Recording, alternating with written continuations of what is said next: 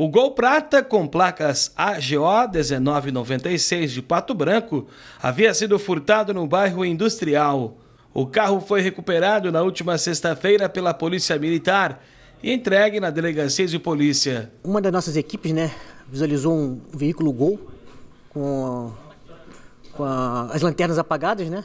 Realizou uma abordagem e viu que se tratavam de dois menores aí conduzindo o veículo desconfiou, né? Suspeitou, apesar dos menores informarem que era de um parente deles, né? O veículo era de um, de um conhecido deles, mas pela suspeição do, da, da, situação, fez contato com o proprietário e aí conseguiu constatar que tratava-se de um veículo furtado. Né? Então, na sequência, já recuperou o veículo do, do cidadão, que está sendo apresentado agora na delegacia, né? Por ter sido, ter sido furtado e já na sequência vai ser entregue para ele.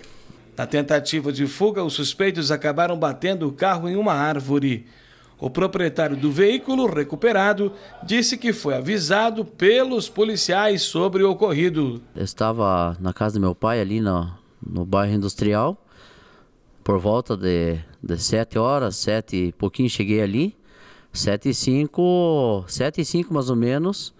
A piazada ali do bairro mesmo ali acabaram levando meu carro, né? E daí, ainda bem que já logo em seguida o sargento me ligou perguntando se eu era dono de um carro e tal, assim assim. Falei que era, né? Daí já tinham pego com, com, a, com a malandragem, né? O meu carro. Nem tinha, nem tinha visto.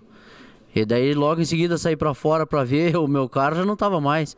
Então em seguida, graças a Deus, deu tudo certo aí. A, por bom trabalho da polícia aí, né?